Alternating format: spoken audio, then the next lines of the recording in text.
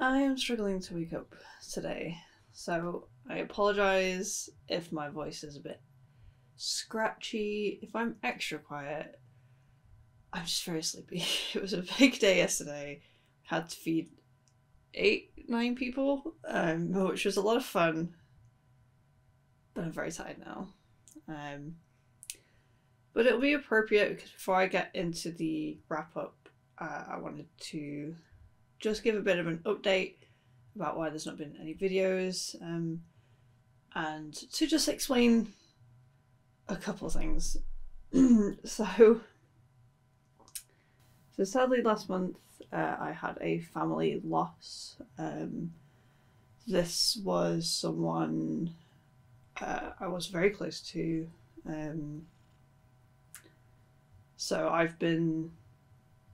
This was someone who helped me out a lot when I lost my dad a few years ago.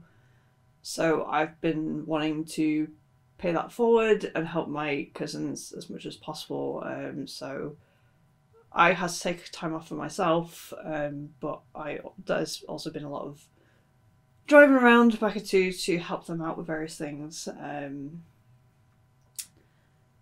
so yes, that happened, which meant that the my NaNoWriMo project was put on hold, put to one side. Uh, so I've not written anything for like five weeks now, I think. So I want to get back to that. Um, I don't know if I'll just like carry on as if I'm in NaNoWriMo uh, and try and finish the challenge for myself. Um, and it also meant that I put my Mistborn vlog on hold. Um, I've maybe read two chapters since my last recorded update for that.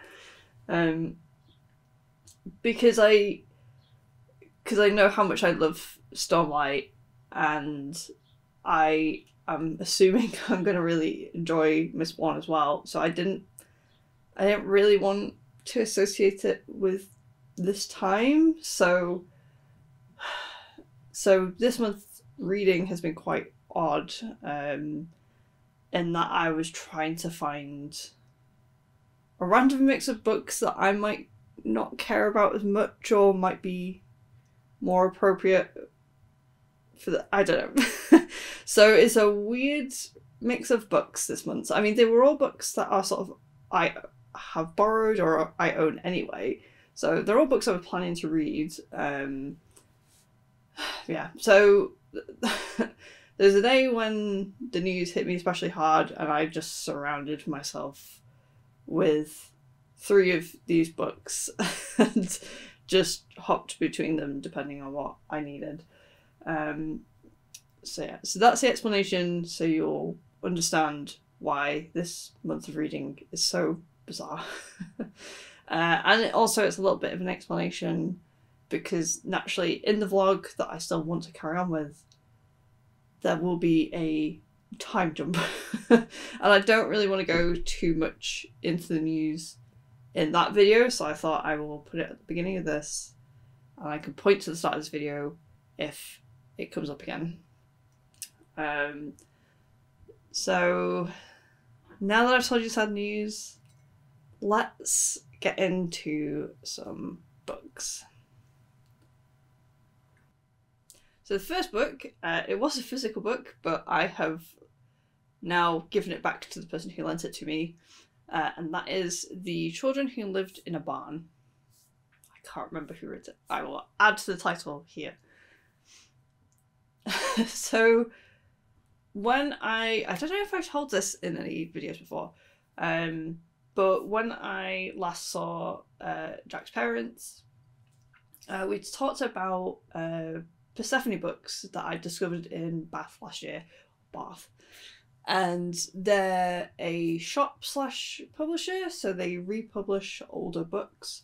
Um, I've definitely talked about them here before, um, but I was telling Jack's mum about it, and apparently, her and a family friend did a little bit of digging, and uh, they found a reprint of a book that one of them had read years ago but not been able to finish. so I thought that was really cool. She bought this book and was finally able to finish this book from decades ago. Um, and so she passed it on to Jack's mum, and then Jack's mum has lent it on to me to give it a try. This is a children's book. When was it written? Is it in I'm not. It might be another like 1930s book, another pre-war book, or maybe just after the war. Um, but when she lent it to me, she said uh, two key things. She said one, the introduction by Jacqueline Wilson gives away the end of the book. Nice going there. uh, so she's like, don't read it. And two, she's like, oh, hasn't it aged quite a lot? Now, I was like, aged in what way? Do, is am I gonna find some secret racism in here? Um, no, there was none of that. Um, I think it was just like uh, old fashioned words, but also, oh, people wouldn't behave this way. But so basically, the plot of the book is that um, there are five children in a family, and then the mum and dad have to rush off uh, to go help the sick grandmother uh, and they're like, "Oh, you you're old enough. You can look after yourselves for like a couple of days. We'll be back soon." Um, so they give them some instructions. They're like, "Oh, stick together. Just look after each other. We'll be back." And then the parents don't come back, and so this is the story of what the kids do. Um, they end up living in a barn uh, that someone kind of lets them use, and it's all about how they keep themselves fed and how they look after each other during this time. Um, obviously, it's you already have to suspend disbelief because even at that time, there's no way that this would continue to happen. Um, I mean, even in the book, there's like references to um, whatever agency is going to come and take them away. Um, I think they, they're just scared that they'll be split up because there's so many of them and they were told to stick together. So obviously in real life, they would just be put in homes until they figured out what happened to the parents. Um, so I was like, so I was like, it's fine. I, I, it's you don't have to warn me that it's old fashioned. I can see when it was published.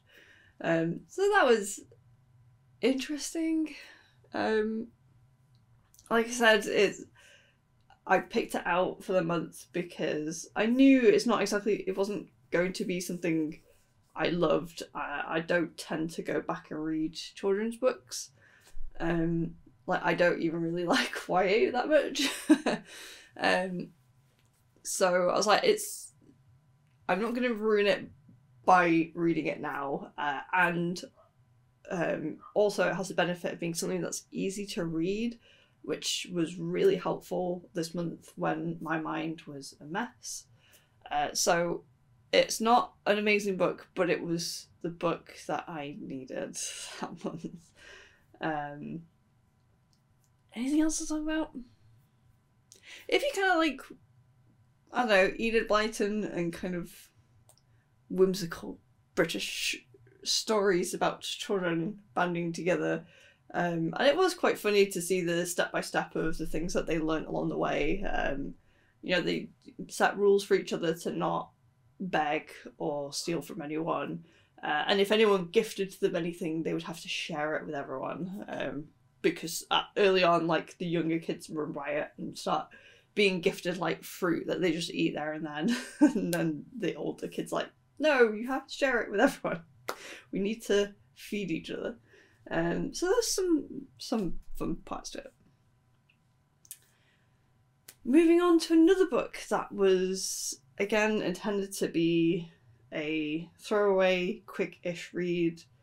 Um, but the benefit of this was it's a book that's been sat on my shelves for I don't know, probably like 15 years at this point. Um, I've had it a very long time. Uh, it has survived my last big unhauling um, because I thought it sounded intriguing enough to hold on to it, and I said I will get around to it. So this is the big T- old school TBR shelf. um, and this is The Drowning City by Amanda Downum.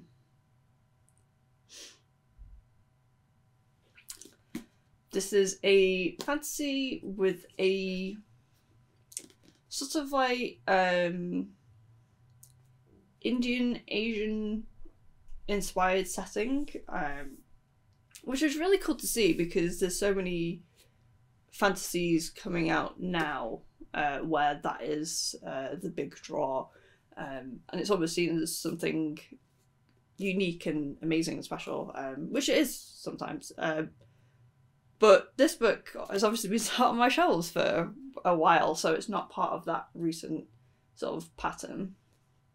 Um, sadly, that was probably the best thing about it.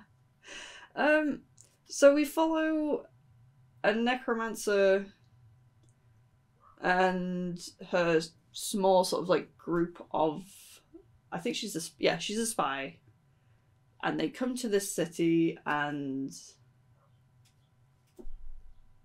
they I can't even remember what they came to do. I think they've let let's read the back.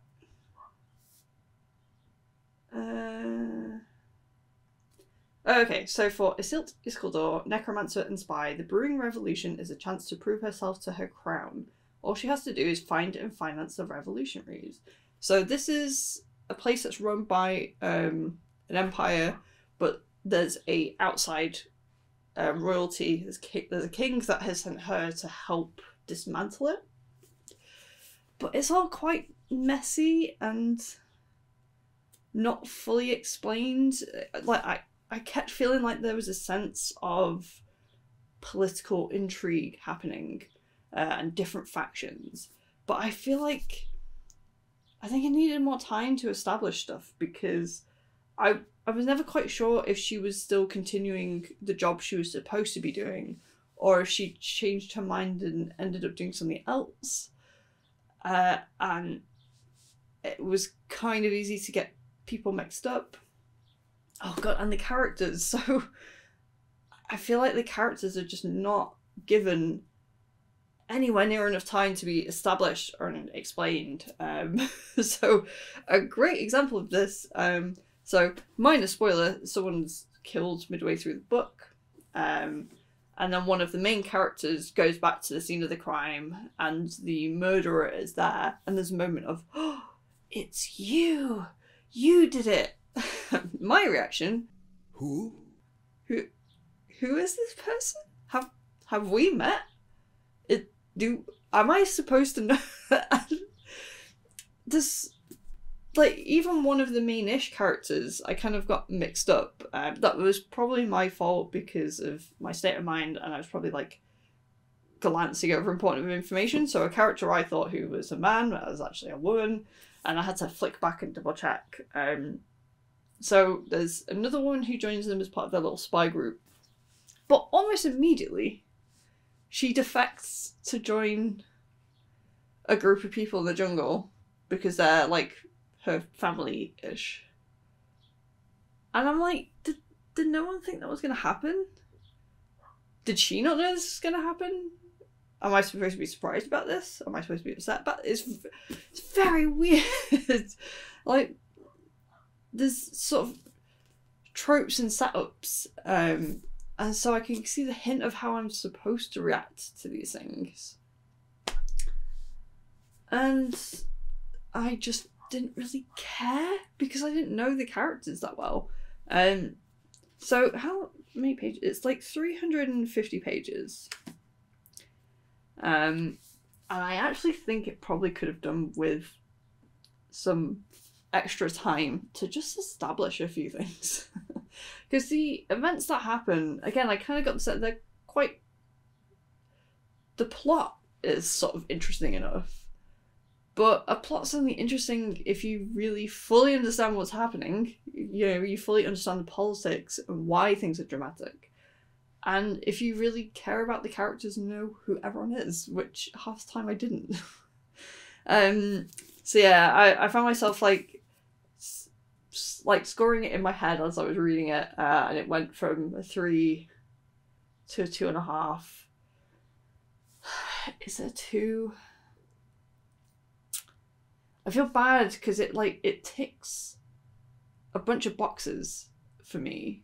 You know, we get a lot of a number of female protagonists, um, which is great because it means you don't get the the one, you know, the one woman holding up the uh, the like and strong female character banner. You know, we get some variety. Um, uh, and the setting, like I said, the setting's really cool. Um, the magic's fairly interesting.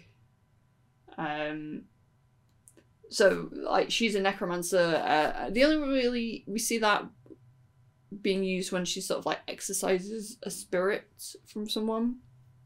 Um, and then someone she ends up walking around with who works for the city keeps saying, "Oh, we actually should, we need necromancers, but people are a bit superstitious around them." Um, so there's great concepts.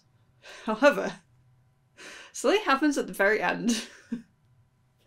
I won't explain, but seemed seemed to come out of nowhere. I was like, what?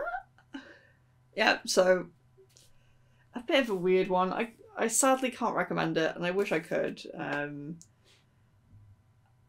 I did. I did look at some reviews for this um, on Storygraph, and someone said that they were going to read the next one. Um, and I I'd be interested to hear from someone who read the next book uh, to see if there was any improvement. Um, but as it stands, I'm not interested in continuing.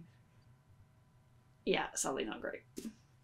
And next on the list, I went through not one but two massive translated Japanese books. Uh, which one shall we do first? Mm, Why Not Chronicle is the one I finished first. I I was probably I'd been reading this through the month before um, and just finished it off at the start of the month. So this was my second Murakami, if we're talking about fiction. Uh, like I said before, I read Wild Sheep Chase, um, and I kind of read that in preparation for reading this, um, because I kind of got this the impression that this was kind of his magnum opus, or at least one of. I know it's one of the higher rated of his books by fans. Uh, so I wanted to read a shorter Murakami to kind of get a feel for his writing before I delved into this one. Uh, I'm quite glad I did because um, after a couple books, I now see that he definitely has a style of writing. Um, how do I talk about the Wind Up Bird Chronicle?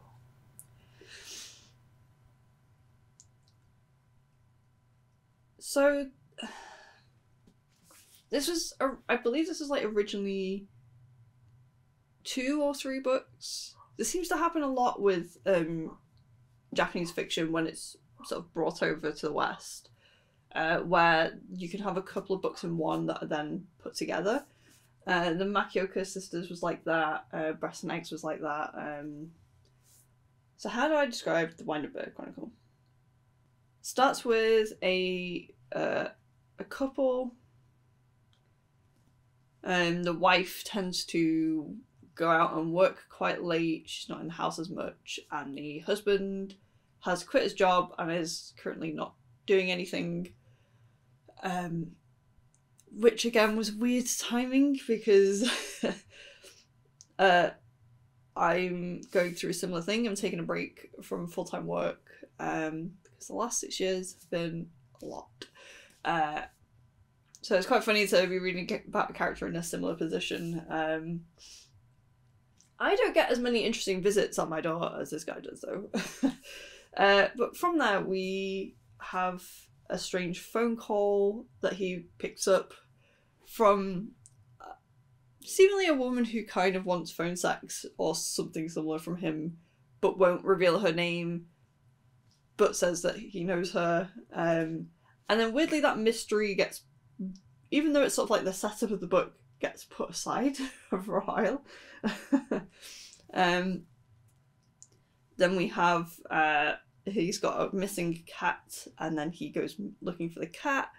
The wife suggests that they call uh, the psychics to help them look for the cat. Um, and anything I describe is just going to sound weird because it's just a lot of small events that may or may not connect back to the main character. Well, I suppose everything connects back to the main character in either a vague way or a very real way. Oh, my throat's drying up. So, as you can probably tell, the plot is quite tricky to describe. um, but I did enjoy my time with it. I feel like I feel like at the moment I kind of sit in the middle. I weirdly I always got the impression that people either really love Murakami or just don't get on with him. Um, I know for some people one of the reasons is the way that he writes women, um, which yeah I, I totally get. Um, obviously, like when the the first the first characters you meet are his wife and a woman who wants to do phone sex, and then the third one is a bizarre site. Yeah, there's a lot of women as sexual objects in it. Um, there's an, a character in this who fits that role especially. Um, you know, she has the ability to sort of go into people's heads, dreams, but when she's there, she has sex with them. Uh, and yeah, her whole background is tied up in prostitution. Um, and it's one of those things where uh, that element on its own is fine. But I, I if every book has a woman who is sexy and has a lot of sex with the main character, then it kind of comes, okay, yeah, just, just calm down, Murakami. Maybe save it for your horny fanfiction. this is why people need fanfiction and, you know, erotic writing. Just save it for that. oh god, what am I saying? I'm losing this thread completely. I'm sorry. How did I feel about this then? I I did enjoy it. Um it goes to a lot of weird places. You can't quite predict it. Um, it's an interesting journey, and I really hate that it's. I can only really talk about it in vague ways, um, because it's a strange book. It's it's a guy walking in a sort of hazy dream world where you know he's i think the fact that he's not working is very important um, because it means that he's entered this world where boundaries aren't quite the same you're not stuck to a routine except for the ones that you make for yourself um, you know he's walking through this dream world and coming into contact with these interesting and weird characters. We have, like I mentioned, the psychic, and then we have um, a man who uh, comes into his life to pass something on from some because of someone's will, uh, and then he just ends up telling a story about his life during. I can't remember which war, but it was something to do with Russia. Uh, so he ends up telling this story about how they took someone over a border um, and then they were caught in the act um, and someone was skinned alive. That scene was grim. Mm. um, you have a another character who's kind of similar to the psychic, uh, but she ends up buying him new clothes and then uh, hiring him for a very weird job that is definitely intended to be up to the reader's interpretation to a point. Um, you know, there's a lot of weird mental stuff and psychic stuff happening. Um, I liked the weirdness of it, uh, and I, yeah, I enjoyed the journey through this odd world. Um, would I? Do I want to carry on with any Murakami? I think so. Yeah. I'm not in love with the style of writing, but I'm definitely intrigued enough to look at more.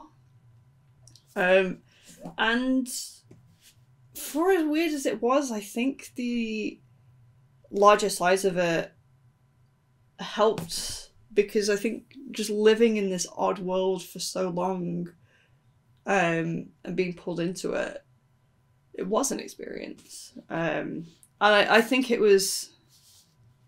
I think I enjoyed it more than Wild Sheep Chase for that reason. Um, I think that's about all I can say. Maybe when I'm more awake and the caffeine's hit, I could talk about it more clearly. Um, but hopefully, people who've also read Murakami get why I'm struggling with this so much. Um, I think really it's a book that needs to be discussed as if you're in a book club, you know, where someone asks a random question and goes, What do you think the themes are? And then you can, ah, well, because of this and this and that. So I think it really needs like spoiler discussions with people who've also read it. Um, so maybe that's that's a new category I should create for books. You know, this deserves to be in a book club, which I thought the same about with um, Clara and the Sun. When I finished reading that, I thought this would make a great book for a book club um, because there's a little enough ambiguity in it where you can have a chat about what you think that meant. But something that was definitely not ambiguous Lady Joker. Now, before I go into this discussion, I have to point out that despite not really being obvious from the book, this is volume one. so, in fact, this really is the opposite of Wind Up Bird Chronicle, because rather than being three books in one, this is one book that's been split into two. And it's really annoying that it wasn't advertised that way. Um, I mean, I personally don't mind because I'm happy to get the second volume when it comes out and wait for it. But I can see some people being really annoyed about that. Um, and I think it's a little bit sneaky to not really make it that obvious. Lady Joker is a book that is inspired by the real life crimes committed by the group known as the Monster with the 21 Faces. I think I have that right. Yes. So we follow a group of men who only really know each other because they all go to the horse races. Uh, but they're a group who they're not the top of society. They're regular men, and in some cases, men who are very down on their luck. And over time, they decide to stick it to the man and go after a beer company to get money. So I'd say the first half to two thirds goes into detail of all of these men's lives, including the president of a beer company. And then the last third covers the events from the point of view of the police and those involved at the beer company. So we see the build up to the crime and then we cut to the other people kind of experiencing it from the outside, uh, which was really interesting. Um, like I said, this is volume one, so I have no idea if there will be a time jump back to see it from the perpetrator's point of view or what will happen. Um, and also, I'm not going to be able to review this really because I've only read half the book. Um, I did enjoy the book. However, what's right name? Takamura. Takamura really wants you to understand these characters. So, for better or worse, we get a lot of detail about quite, I'm sorry to say, boring things. I think the best example is when we followed the um, president of the beer company. I, I think one of the first uh, chapters were with him. Uh, huge amounts of that chapter are simply dedicated to his thought process of managing the company down to uh, predicting sales, uh, marketing, the thought process of whether to cut down on what types of beer to sell, whether to come out with new beers, uh, what his competitors are doing. Uh, and he's not the only character where this happens. Um, and I, I think the idea is to really get to grips with how these people think, the world that they live in. You know, we don't. She really, the writer, she really doesn't. I think she doesn't want people to just glance over and go, oh, that's their personality. They really want to know the world that they live in. Sometimes I liked it. Other times it felt like it dragged a bit, and when it's quite a big, chunky book already, um, it felt like it was time that maybe I would have had more fun. It's time that maybe I would have preferred spent seeing more exciting things. like it, it's one of those things where it's kind of brilliant, but I also think it's a bit of a shame because I think it will turn people off. Um, yeah, I I'm kind of sat in the middle with it. I swayed from going, oh okay, I'm yeah, I really understand what this character is like. I understand their job. I understand what they're going through. And then after a while, like okay, but this is making it really hard to read. So this was like the complete opposite of Children of the Barn. that book was the quick, easy read that I needed. Uh, this was the book that would sometimes make me feel sleepy. I hate to admit. Um, yeah, I'd read a few pages sometimes and be like, pay attention. Um, there is also a lot of uh, character stuff that isn't the boring minutia. Um, background on families. Uh, we get that especially with. Um, is it right to call him main character? I'd say the original main character. Um, he's an older man. Um, who is sort of part of this family that bit by bit is becoming more and more interesting. So this man, his grandson, has just died at the start of the book. Um, it's unclear what kind of happened. Um, it was potentially suicide. Um, he crashed his car, and this happened very soon after a strange interview with the beer company. Um, uh, they suspect he was maybe not given the job on because of discrimination. oh god.